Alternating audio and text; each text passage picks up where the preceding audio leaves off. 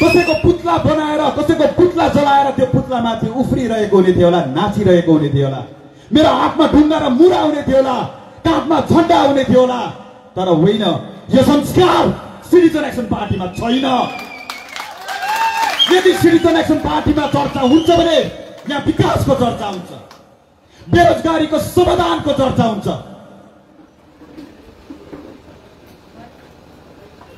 बेरोजगारीको समाधानको चर्चा हुन्छ। सिक्किमलाई एउटा सुनौलो युगमा प्रवेश गर्नुपर्छ।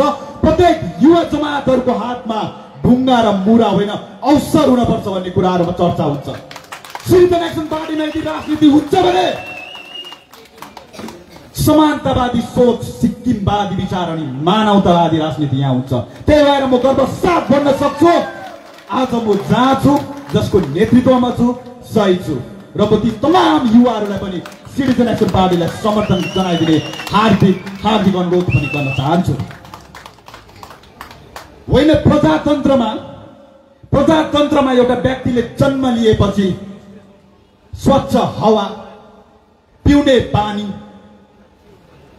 बाटो शिक्षा स्वास्थ्य यो त जन्मसितै लिएर आएको अधिकार होइन। अनि यहाँ भारत स्वतन्त्र भएको यत्रो वर्ष पछाडि पनि हामी चाहिँ फेरि यही कुराहरूमा सरकारलाई जहिले तहिले माग गरिरहनु पर्ने सडकमा निस्किएर आन्दोलन गरिरहनु पर्ने सरकार यो रोडमा एम्बुलेन्स कुद्छ यो रोड सही भएन यो बाटो सही भएन भनेर सरकारलाई जहिले तहिले गुहारिरहनु पर्ने शिक्षा प्रणाली सही भएन स्वास्थ्य प्रणाली सही भएन भनेर जहिले तहिले जनता आक्रोशमा आइरहनु पर्ने सरकार कहाँ छ? सिक्किममा प्रजातन्त्र कहाँ छ सरकार? आज नानीले नानीले एउटा व्यक्तिलाई बगाउन थालेको छ। सरकार फेरि चुपचाप छ। सरकार अब जवाफदारी हुनपर्छ। नानीले यहाँ एउटा व्यक्तिलाई बगाउन थालेको छ। हामी यसमा निष्पक्ष जाँचको माग गर्छौँ। इलिगल टर्मिनेसनहरू ओएफओजे एडोक अनि एमआरका कर्मचारीहरूलाई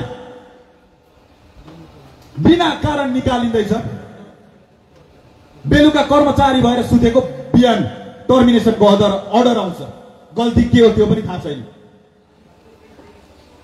डिओपी सेक्ट्रीमा गएर सेक्ट्री साहबलाई गएर हामीले भेट्दा ओएफओ चाहिँ एडप एमआरहरू त सिक्किम सर्भिसको रुलभित्र पनि पर्दैन।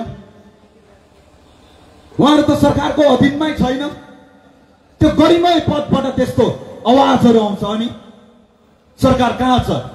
हेलो सरकार हामी तपाईँलाई सोध्दैछौँ। अब सरकार निन्द्राबाट बिउजाउनु पर्छ र यी कर्मचारीहरूले पनि बुझेको छ। आज एडक एमआर ओएफएचएमा भएको कर्मचारीहरूले पनि बुझेको छ।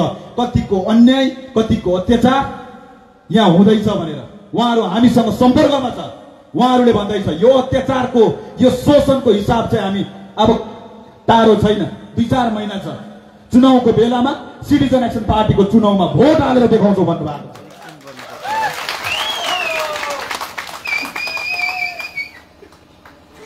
सिक्किमको आबादीहरू अहिले हेर्नुभयो भने सत्तरी प्रतिशत आबादीहरू आज पनि गाउँमा बस्छन्। र त्यस्तै एउटा गाउँमा मेरो पनि एउटा कृषकसँग बात हुँदै थियो। तिनै कृषक जसले मेहनत अनि परिश्रमले आफ्नो माना भरेको माना भर्छ सन्तोकको निन्द्रा लिन्छ अनि बिहान उठेर ईश्वरसित नयाँ दिनको प्रार्थना गरेर आफ्नो जीविका चलाउँछ।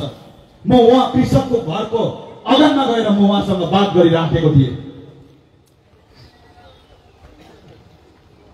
उहाँले भन्नुहुँदै थिए उहाँको एउटा गोठ छ। भुरेनमा साग सब्जीहरू छ अनि तल्लो बारी देखाएर त्यो तल्लो बारीमा अदुवा अलैँची रोपेको छु भन्नुहुँदै थियो।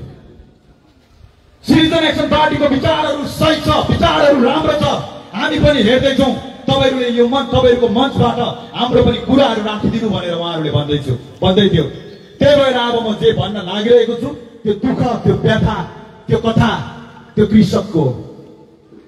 त्यहाँ गोठ देखाएर उहाँले भन्नुहुँदै थियो त्यो गोठमा एउटा गाई छ त्यो गाईको दुध धोएर उहाँले आफ्नो जीविका चलाउँछ।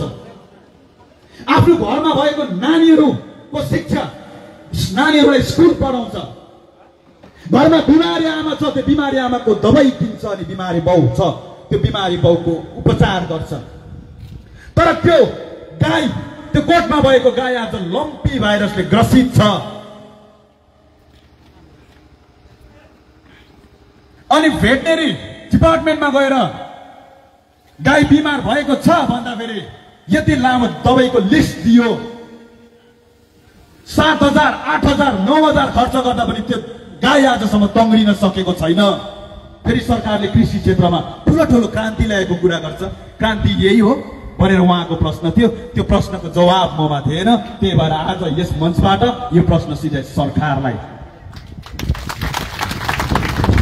उहाँले आजै भन्नुहुँदै थियो यस्तो बेलामा त यस्तो आपतकालीन समयमा त सरकारले एउटा आपतकालीन बैठक बोलाएर डिपार्टमेन्टको ठुलो ठुलो अफिसियल्सहरू बोलाएर डिपार्टमा डिपार्टमेन्टमा भएको कर्मचारीहरूलाई गाउँ घरमा पठाएर कसको घरमा कति गाई छ कति बिमारी छ भनेर जायजा लिन पठाउन पर्ने? त्यो किन भएको छैन? पर्याप्त रूपमा दबाईहरू उपलब्ध गराउनु पर्ने किन भएको छैन? भाइ भनेर भन्नुहुँदै थियो। त्यो पनि जवाब ममा थिएन। त्यही भएर आज यो मञ्चबाट यो पनि प्रश्न सरकारलाई। घुर्यानमा एउटा बारी थियो। उहाँले त्यो सब्जी बारी देखाउँदै भन्नुहुँदै थियो यो घुर्यानमा मैले सब्जी रोपेको छु।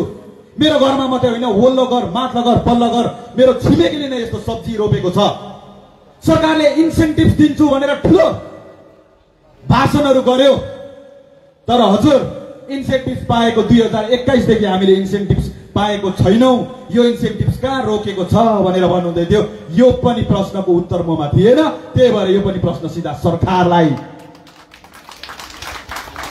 त्यो तल्लो बारी देखाएर त्यो बारीमा अदुवा रोपेको छु अलैँची रोपेको छु भन्नुहुँदै थियो। सरकारमा आउनुभन्दा अगाडि उहाँहरूले यस्तै मञ्चहरूबाट घोषणा पत्रहरूमा ठुलो ठुलो भाषणहरू गर्दै थियो। अलैँचीको भाउ कति? अलैँचीको भाउ पचास हजार दिन्छु भनेर भन्दै थियो भाइ भाउ अहिले कति छ? भन्नुहुँदै थियो। त्यो पनि प्रश्नको उत्तर ममा थिएन। त्यही भएर यो पनि प्रश्न सिधा सरकारलाई। अब सरकार जवाबदारी हुन पर्यो। अब सरकारले उत्तर दिन पर्यो।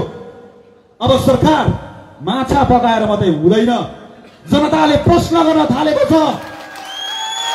जनताले प्रश्न गर्न थालेको छ अनि उत्तर चाहिँ फेरि मलाई थाहा भएन भन्दा हुँदैन। सरकारले थाहा हुन पर्छ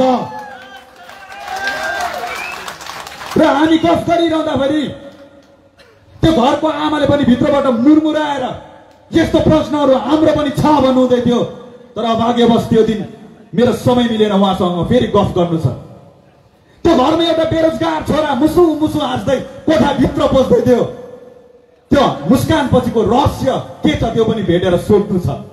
र यस्तै कथाहरू यस्तै व्यथाहरू यस्तै प्रश्नहरू आज त्यो कृषकको मात्रै होइन। यस्ता हजारौँ हजारौँ हाम्रा गाउँघरमा भएको व्यक्ति व्यक्तिमा छ। र अब जनताले प्रश्न सोध्न थालेको छ अब सरकार जवाबदारी हुन पर्छ र आजलाई भने यो प्रश्नको प्रतीक्षासँगै